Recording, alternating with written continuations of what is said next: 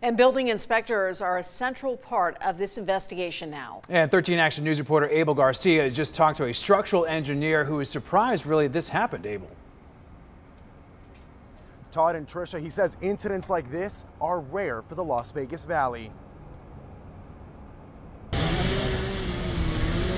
Nobody's getting in and out of this La Bonita for a while after the front of the building simply gave way overnight, a rare occurrence around here. I don't even recall another incident similar to this since I've lived here. I've been here 32 years, so they're very rare.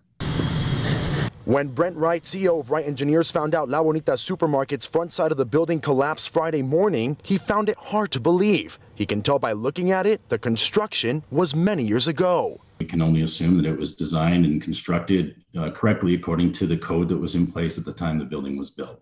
Wright says the building codes continue to change and improve over many years. Often they're modified whenever there is a significant disaster or failure. Developers learn from things like this. We're going to want to find out what caused it so that it doesn't happen again. Happen again.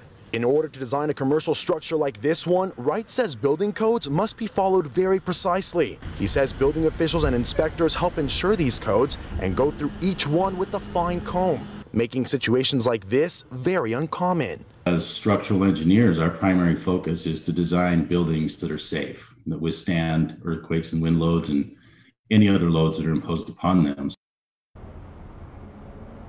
The owner of the property was told to hire an engineer to assess what led to the collapse and provide the results to the building department for further evaluation. Abel Garcia, 13 Action News. Uh, Abel, thank you. And as right now more information comes out about this partial collapse, 13 Action News is your top source for information. You can get the latest updates on air, online, and also on your favorite streaming device as well.